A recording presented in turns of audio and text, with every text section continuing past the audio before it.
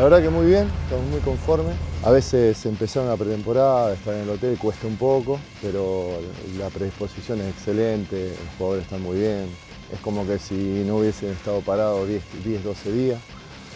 Están haciendo un trabajo a máxima intensidad y yo creo que vamos a llegar muy bien para el día 9, que es el primer partido.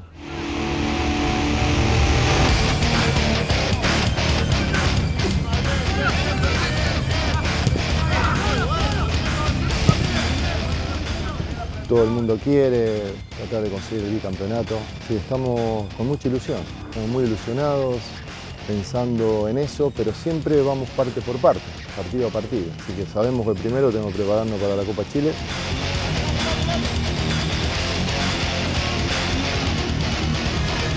Desde que llegué todos estos meses encontré un plantel muy profesional, muy profesional, muy, con mucha predisposición al trabajo, muy aplicado en el trabajo tiene mucha predisposición, son muy positivos, así que eh, no tengo ninguna duda que van a terminar a hacer un gran trabajo de, recondicionamiento en esta pretemporada antes del partido y que van a llegar muy bien para, para el partido contra la Serena.